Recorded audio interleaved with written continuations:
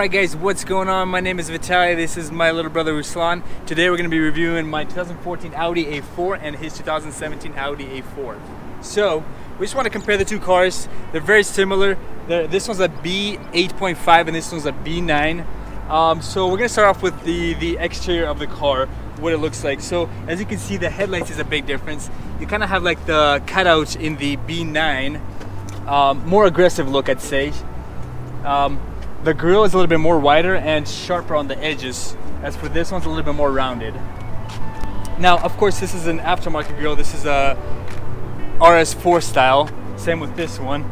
They're they're similar, but they're still not the original. The A4 doesn't come with that. Um, so I got my car on eBay with a salvage title. It was originally hit in the front, so the front end was all smashed. Airbags were good, no frame damage, so everything was good. He guys also on eBay. Yeah, so uh, back in January, I purchased this car from uh, Miami, Florida. So it turns out it was caught up in a flood back in New Jersey in December. Um, and uh, ever since it was rebuilt from salvage. Uh, no issues whatsoever, uh, no uh, sort of collision, just a freshwater flood. You've had this car for what, like about a month, two months you've been driving it? Yeah. So what would you say, what are the quirks and features of this beautiful car? What well, would you say, what do you like about it most? Uh, I think one of the best parts about it is just the acceleration when you when you step on the, the gas pedal. Uh, it has 252 horsepower, it uh, really packs a punch once they've once they've tuned it, it, it really does great. Yep. And my car comes with 220 horsepower. Now, if you punch it, you gotta wait a little bit. You gotta, you know, it's not not as not the fastest car. At first, you know, when I first got it, it was pretty quick, but I think there's a turbo lag now. I don't know. Maybe it needs a turbo rebuild. Who knows? So let's kind of walk around. We'll show you. First, we're gonna go over the B9. So want to explain what kind of modifications you did to the car? Yeah, so uh, one of the first modifications I did is I went ahead and I got the. Went ahead and then I did really good with the R. Yeah. If you don't it needs to go down a little bit. It's a little bit higher than the others. Uh, and then afterwards, we went ahead and updated these vents uh, to also an RS4 style to match the honeycomb as the grill does. Uh, and we also went ahead and um, made all the logos and emblems black so that it matches um, matches very well. Also, before we do that, got the plate mount holder. Yeah, honestly, I think it looks kind of cool when it's on the side. Yeah, and then the preference. aviation uh, just to support aviation. All right. I wonder why. Yeah. The next modification that we made was uh, the dynamic turn signals. So you can see that the LED follows towards the outwards of the car to make it a, a, a more uh, more streamlined sort of configuration, uh, very similar to how the tail lights work when you're using the turn signal. Um, finally, the last modification that we did was the rims. Uh, so we went ahead and purchased uh, some 19 inch wheels uh, and you can see that they have uh, pretty sweet design on them. They are left and right dependent. It resembles a pinwheel, so they are left and right dependent. Yep. And then, so you originally had 17s on there, right? Yeah, 17s. And you went to stock. 19s. Yep. How big of a difference is it with the 19s? Um, in terms of ride quality, I would say it didn't very, uh, it didn't go down by much. Um, the reason for that is it, the car has coilovers from H&R and that really helps with the with the right suspension uh, since you have dampeners and springs that are designed to work with each other uh, and it also gives uh, an extra layer of flexibility to be able to uh, adjust the height size as uh, height ride as needed nice. Um, cool and uh, so what are you sitting at right now ground clearance what do you got like and a half inches six and a half inches the front bumper okay so that's with H&R uh, coilovers, six and a half, and we're lowered all the way. We're slammed to the very, yeah. very bottom. Yep. And um, obviously with 19 inch wheels. A few other things I want to mention is uh, we went ahead and smoked these um, these side markers based on uh, suggestions from you guys. Uh, I think it makes it look much more uh, much more streamlined with the rest of the, the sort of glossy black that we see here. Uh, it was pretty awful with the with the orange ones that were stock. And we, we tinted the, the car, I believe it was, do you know what percentage it was? Percent um, with the visor. So turned out really nice. And then in the back, it's pretty much all stock. All we did was just remove the back emblems and got a black Audi emblem. Oh, there is one more. I, I don't think you could see it during the day. But uh, if we were to open the car, yeah, you can't see it at all, but uh, it would be project projecting uh, the Audi, Audi rings onto the ground. So that was a, pretty simple mod.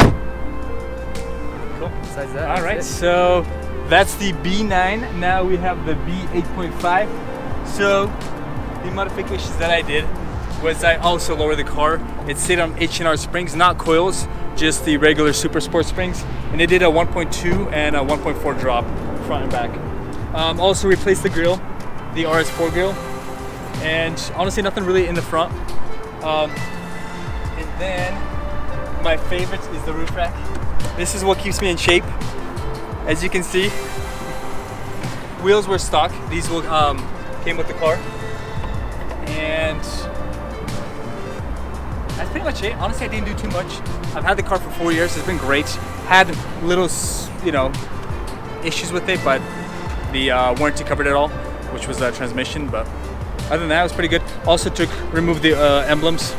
I just I like the clean look. gives it a really nice touch to it. Um, if we want to go inside, take a look at what it looks like, what a B8.5 looks like. So they're very very similar. This one is an S line package, so it does have the bucket seats where you have like this. I call it the chrome collector. All your chromes going here, but it's pretty cool. It looks neat. neat. then you got the uh, S line emblems there.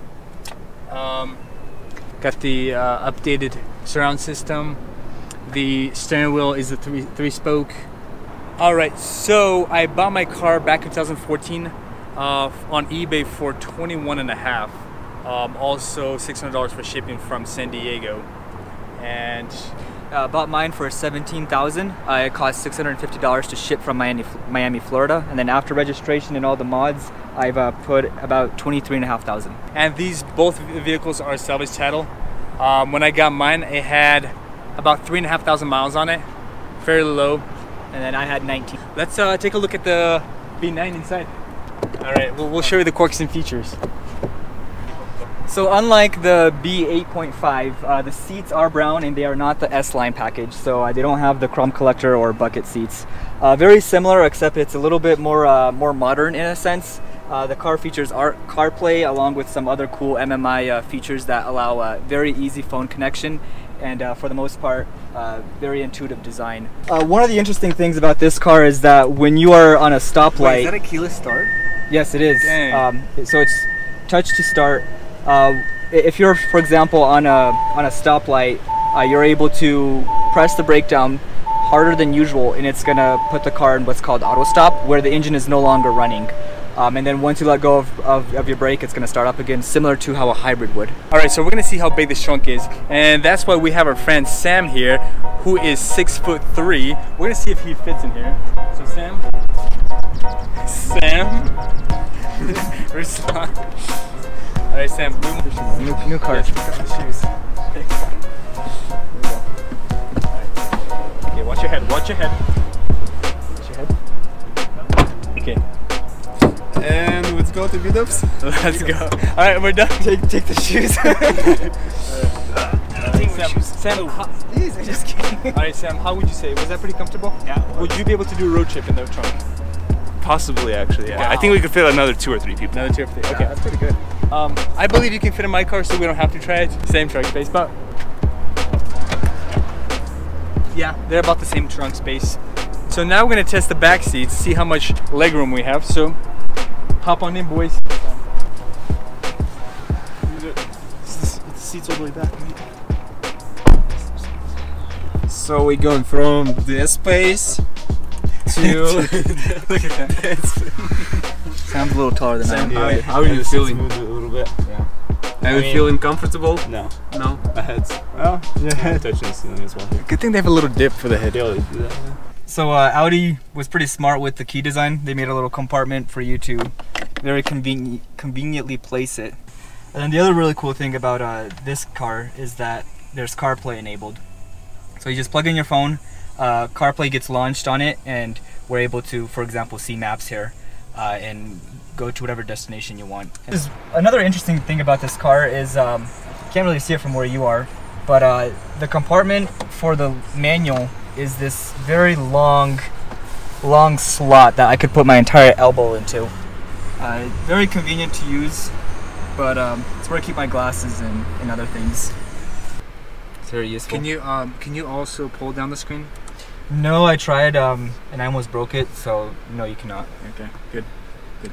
Alright guys, so now we're in the Audi B8.5. This is what the interior looks like. Not as sleek as the 9. I'll start the car just to show you what we have in here. So over here, pretty similar. I don't have the uh, twist knob for the uh, volume.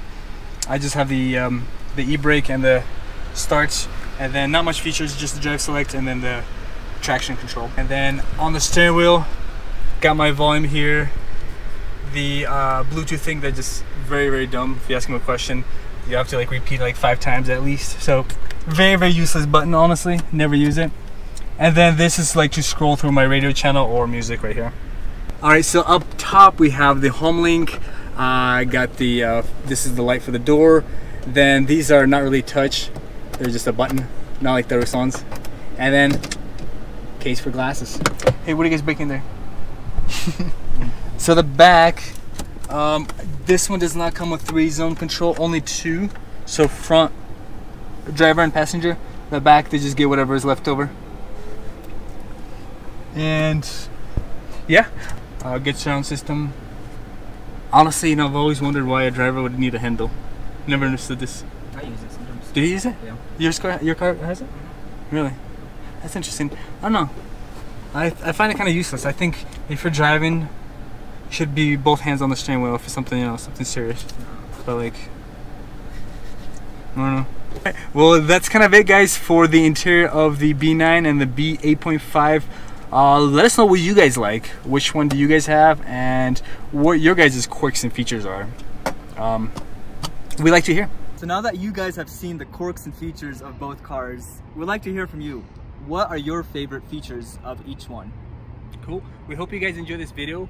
Please like, subscribe, leave us a comment, and thank you for watching. And stay tuned because we have a few more modifications to make on the B9. So now we want to show you guys like a little drag race. We're not gonna go crazy. Um, I know who's gonna win. I know that car is faster, but we just want to show what the big difference is. Yeah.